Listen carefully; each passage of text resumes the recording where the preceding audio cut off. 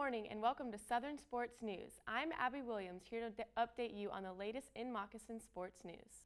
Florida Southern Baseball started off their season with a record of 1-1. The Mocs played on the road against the Augusta Jaguars over the weekend. The series started off with the Mocs striking first on Saturday with a 7-2 win over the Jaguars. Five of the Moccasins' seven runs on Saturday were scored in the first two innings. Sophomore Logan Brown had a two-and-run homer that capped the 5-0 start, and senior pitcher Ben Richardson abolished the Jaguars' first 11 of 12 batters. But the Jaguars wouldn't let the Mocs walk away with another win on Sunday. Augusta shut out Southern on Sunday with a 6-0 win. Florida Southern is set to host their home opener this Saturday in a doubleheader against the University of West Florida at 1 p.m. at Henley Field.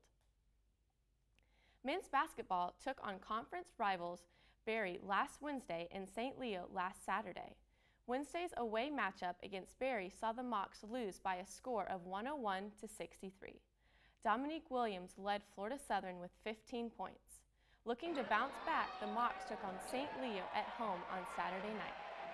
Saturday's game saw Dylan Travis play his first game back after a foot injury kept him out for three games.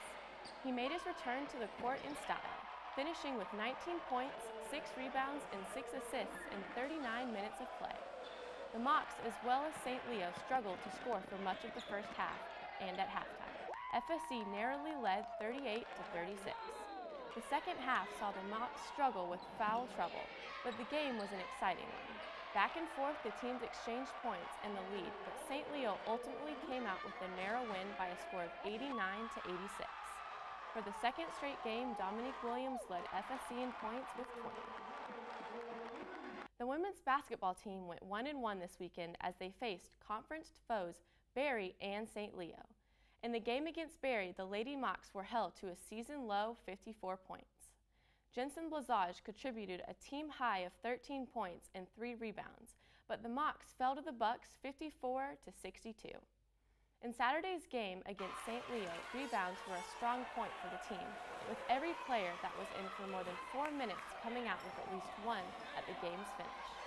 Mariah Harris and Bailey Florin combined for 34 points to lead the Mocs to a 67 and 53 win.